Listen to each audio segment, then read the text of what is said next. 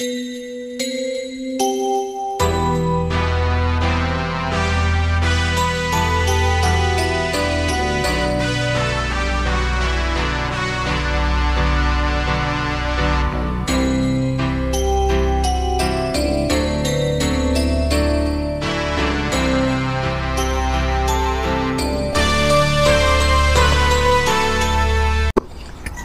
Hello guys, good morning mga kaside. It's CC Moto Vlog again for another rear shock review. So guys, uh, if you're following my channel, uh, mapapansin nyo na uh, dalawa sa mga video content ko is uh, about rear shock, rear shock review, which is yung uh, V3, uh, uh, KYB V3, at yung uh, YSS DTG series.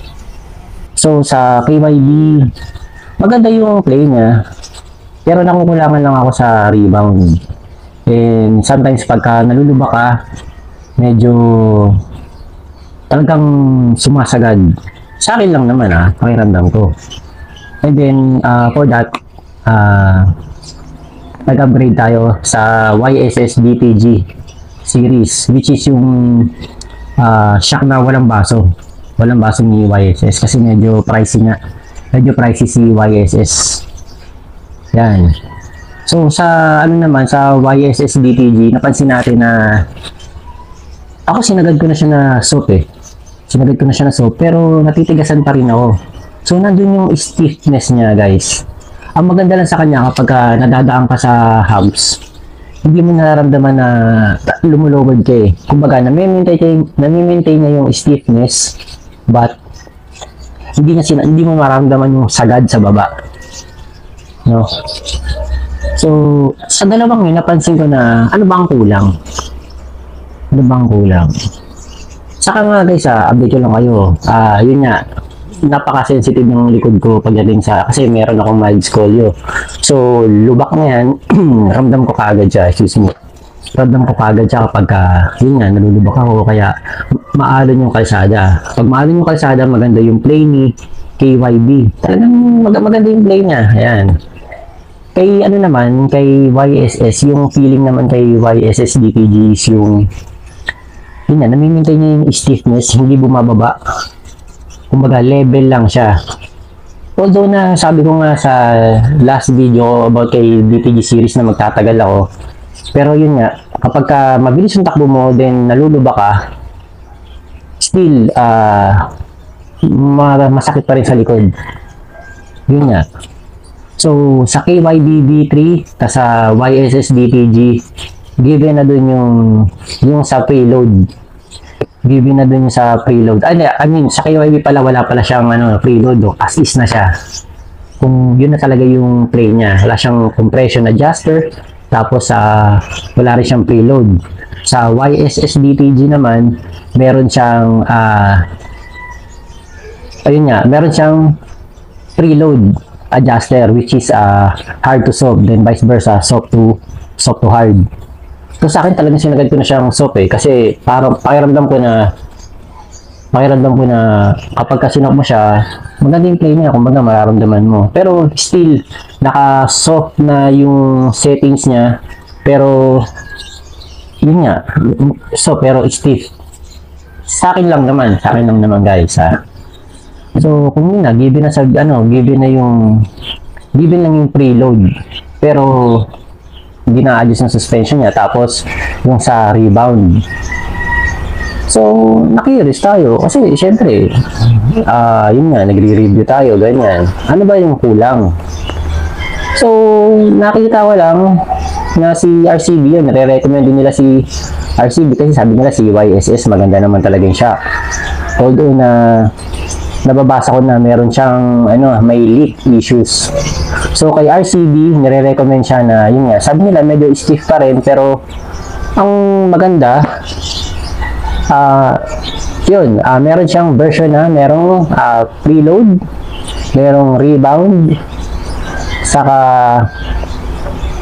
ano ba ba? Yun nga, yung compression uh, na-adjust. So, di natin panatagalin pa. Ito na siya. Nag-upgrade ulit tayo. RCB BB series. Yan. So, kung itatanong nyo guys, kung saan ko siya nabili, nabili ko siya sa uh, Along Paranaque lang, no? Sa Tambo Paranaque. Yan. Medyo siguro mga months na rin na nagbukas yung yung shop nila pero andun na lahat ng hinahanap mo guys pagdating sa uh, sa shocks basta sa lahat ng mga pang-upgrade sa mga panggilid yan pero ang focus natin ngayon is yung rear shock muna para sa yun nga, sa magandang play na hindi ko pa rin nakita talaga. So hoping nasa RCB BB series. Is bigyan niya tayo ng magandang labang kasi hanggang dito na lang talaga tayo. Kasi pricey din siya no 10,000 yung kuha ko dito guys. Uh, free uh, free installation na siya. Yan pero guys ito uh, dadali natin siya ngayon uh, dadali natin siya today ngayon sa sa Lorenzo Tan Suspension Works and Motorcycle Accessories doon natin siya i ipapatono kasama ng kasama ng front natin. Ayan. Kasi yun nga, kakabit lang naman to. Siyempre, hindi naman natin alam kung uh, ano ba yung tamang uh, settings yan pagdating sa compression, sa rebound, saka sa preload. Yun. So, kausap ko si ano, Ewan ko, baka si Sir Lorenzo to. Yun nga, nakaschedule tayo today para magparipak ng unahan ng NMAX dito natin. And then, sasabay na natin pakabit itong uh, RCBBD series, guys. Ayan. Ito nga pala, guys. Ang uh, color combination ito is uh, uh, yellow and gold combination. Kasi talagang pahirapan makakuha ng uh, black and gold uh, version. Yun yung premium. I think premium kasi may additional price siya compare dito sa compare dun sa tatlo na yung silver red combination tapos meron din namang black pero parang hindi ko masyadong trip yung kulay kasi parang medyo patay. Siyempre, kanya-kanya tayo ng color prefer preferences. Yan. So guys, ito na. Hindi natin patatagalin. Bubuksan na natin. Sabi ko, mamamas ko muna ako eh. Bago ko, ano. Yan, hirap buksan. Ayan. Ayan. Okay, guys. Ang kita nyo naman, binalingan ni RCB. Binalingan ni RCB dito. Sana all. Ayan. Nakikita nyo naman yung nakikita nyo naman yung box pa lang. Yan. Ito, ah, para siyang ano, no? Para siyang egg tray. Pero, yan, foam siya. Foam. Tapos, ito siya. Ito siya, guys. Yan, yan ang laman. Ah. Nadali na natin. So, guys, ito yung laman niya. So, as I check, guys, syempre, chinek mo na bago mo muna iuwi. Syempre, sayang pera eh.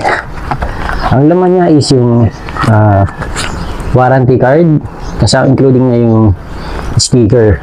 Ayan. Sticker saka warranty card.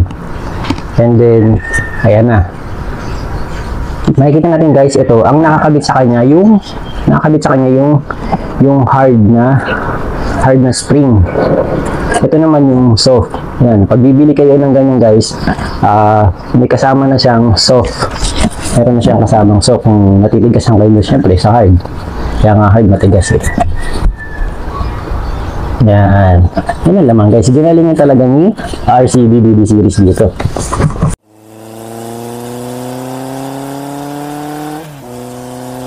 You can see guys, ito na nga yung ito yung uh, soft spring niya. Kung nagsawa ka sa hard, so pwede mo palitan ng ganito. Yan. So, kasama na yung pang-adjust. I think sa ano to, sa preload to. I think sa preload. Pang-adjust sa preload siya. Yan. Tapos, ito. Ayan. Kita natin guys. Kita nyo.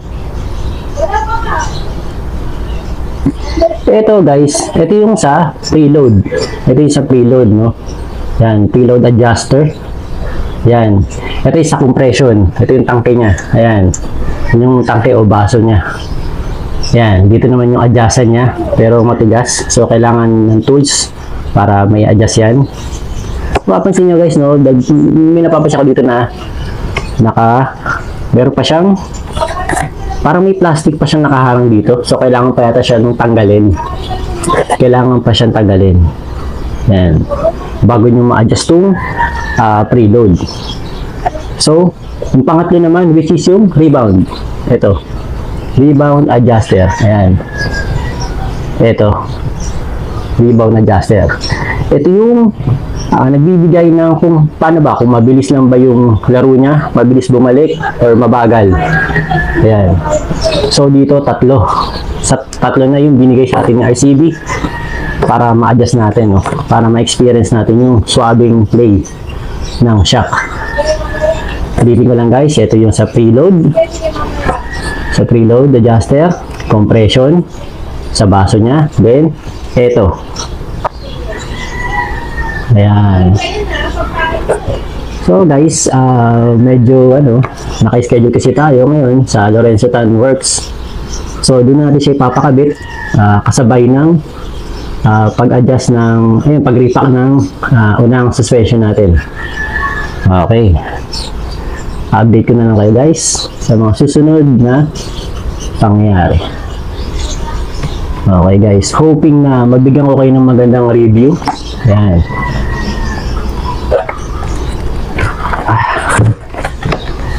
Pakita ko na rito isa. Ayan. Ito ang tsura niya guys. Yellow and gold combination. Talagang pansin na pansin talaga pag naikabit na. Siyempre, lahat naman ng siyang nadudumi yan. Eh. So, nasa inyo na lang guys kung paano nyo i-maintain. Yan. Yan yung baso. Nakalagyan ng sticker na Premium RCB. Yan sa sa, sa compression sa preload. Ayun ito guys. Yung sa rebound adjuster naman niya. Yan lang guys. Dinalingan talaga ng RCB sa, sa box. Kasi ito nga ito yung pang adjust and and then ito. Itong maliit ito parang hindi ko alam kung para saan to eh. Yan, comment down below kung para saan to guys. Hindi ko alam kung para dito ba to sa yung sa salpakan, yung sa bushing. Or di, di ko alam kung para saan ba to. Pero kasama siya dito sa package. Yan guys. Nakita nyo na. RCB. So, kita kits. It's my life.